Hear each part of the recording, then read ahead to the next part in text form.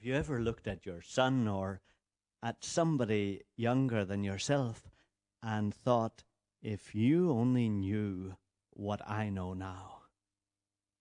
Or have you ever thought about yourself, if I had known at 15 years of age what I know now at 35, my life would have been entirely different and much wiser.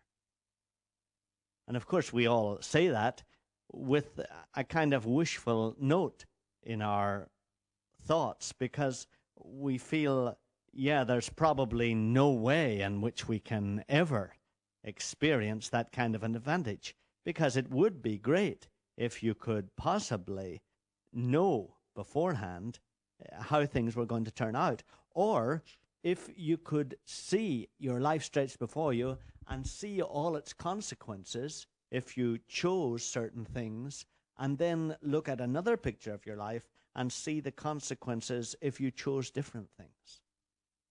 That's what we have been saying. The Creator of all of us has managed to do for us. We've been talking about the evil, selfish part of us that all of us know so well.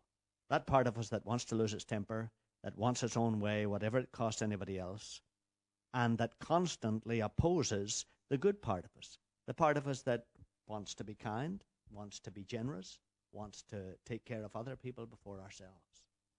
And we've been saying that those two natures, the one a good nature, the one an evil nature, the one a selfish nature, the one an unselfish nature, comes from two attitudes to life.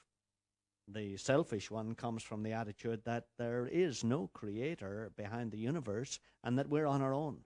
And we'd better grab what we can from all the other four billion people as fast as possible.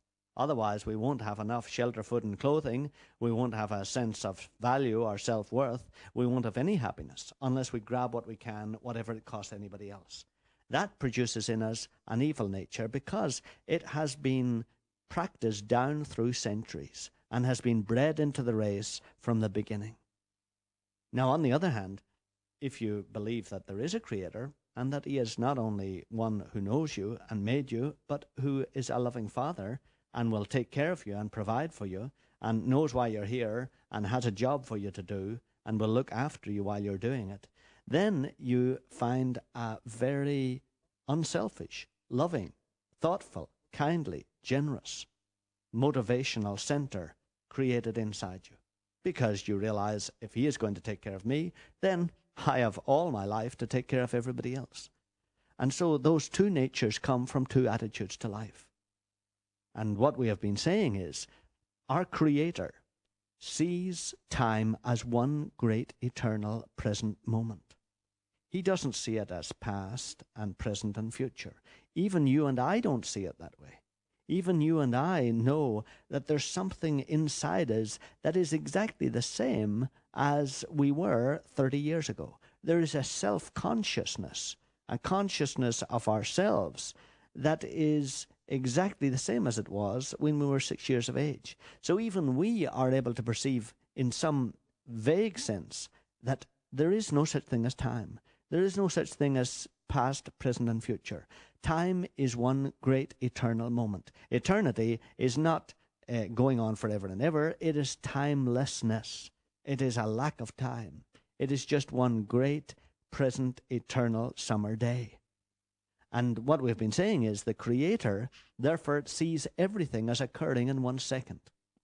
The moment He conceived you and me, the moment He created you and me, the moment He conceived that we would use our free wills to either acknowledge him or to ignore him, the moment he conceived that if we acknowledged him, we would live and trust in him, and therefore have a motivational center that was filled with unselfishness and kindness.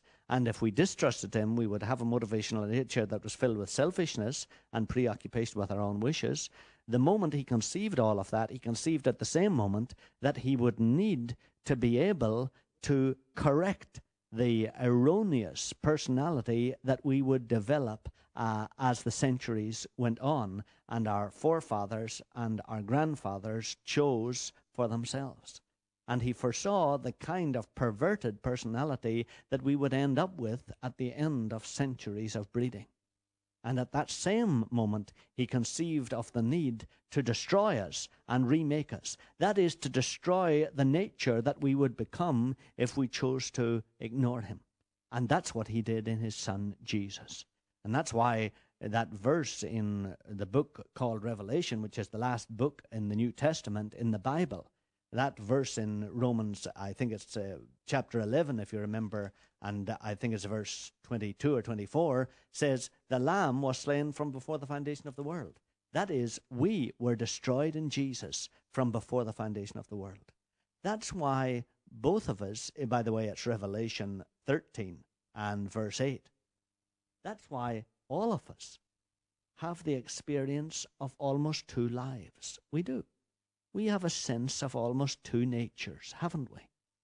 The one nature is the one that the Creator has allowed us to live freely like the rest of the people in the world, as if there was no God, as if we have only ourselves, and as if we have to look after ourselves and take care of ourselves because nobody else will. That nature that has developed the evil, selfish resentment that rises up in us at times and loses its temper with other people.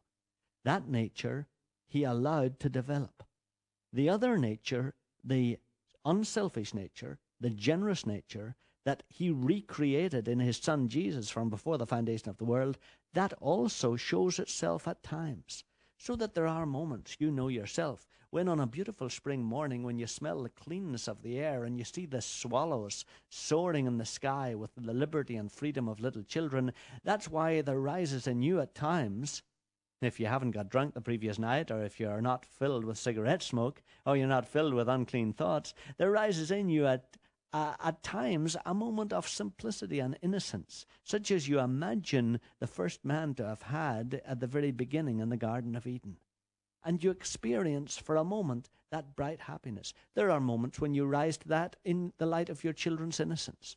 There are moments when you see a movie or you see a play and you feel within yourself all those pure and loving and kindly and trusting attitudes that you feel would be heaven itself if you could practice them day after day after day. You experience that because that actually exists. That is the real you. The unreal you is the unselfish, bad tempered, critical, caustic, lustful nature. That nature has already been destroyed in Jesus. That's why that nature brings you such sadness. That's why you feel such despair and such guilt about it, because it's already been condemned by our Creator in Jesus, His Son, and been destroyed. It is actually a death nature. It's a nature that has ceased to exist, that has been destroyed in the timelessness of eternity. And the only nature that only that actually exists now in God's presence is the new nature that He gave you when He recreated you in His Son. And that's why that nature brings such brightness to you and such reassurance to you. You feel better, don't you, when you're good? You do. You feel better when you're good.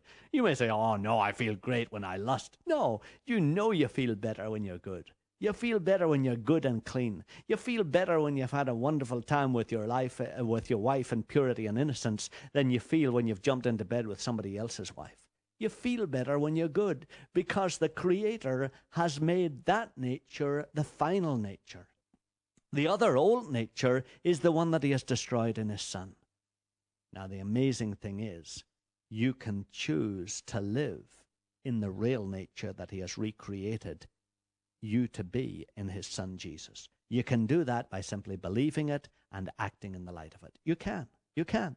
Now, I know there are all sorts of things cry out inside you and say, No, I can't, I can't. I've tried a thousand times. Yeah, you've tried by your own effort. You've tried without faith.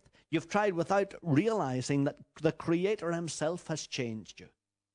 If you try by your own effort, it's the same old nature that got you into the trouble in the first place. That's why the old nature can de- never deliver you from the old nature, because it's independent of God. The only nature that can deliver you from the old nature is the new nature the belief that you have been recreated in Jesus. And that's what that verse in Romans 6 and verse 6 of the New Testament says. We know that our old self was crucified with Christ. That's actually true. Your old self, all the old nature that you have been developing over these years, has already been crucified in Jesus. Now, if you say, well, why, why does it exist now? You see why. Because of what we said at the beginning of this discussion. Because the Creator wanted to show you what you would be if you refused Him, and to show you what you can be if you simply believe in Him. He let that old nature work out the consequences that it has done in your life so that you would have a true choice. So that you, of all people, would be able to say, I see what I will become if I choose this, and I see what I can become if I choose that. So, in reality, we have a wonderful opportunity here on earth. We have been given freedom to see what will be the consequences of our choice. You can choose today. Let's talk a little more about how to choose tomorrow.